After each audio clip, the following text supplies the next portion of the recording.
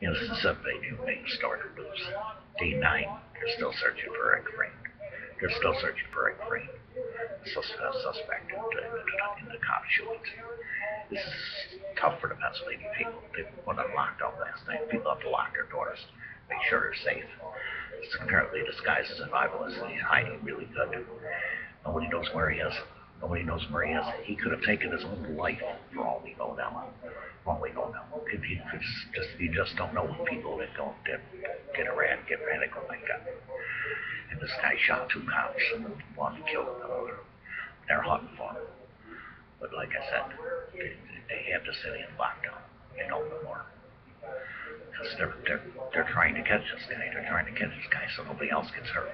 No other cops get hurt. No other people This Eric Frame is well. Apparently he acted in four movies or something. He learned survival skills. He could be gone from Pennsylvania for all they know. He could be gone from Pennsylvania for all they know. I hope not. I hope they get. I hope they get.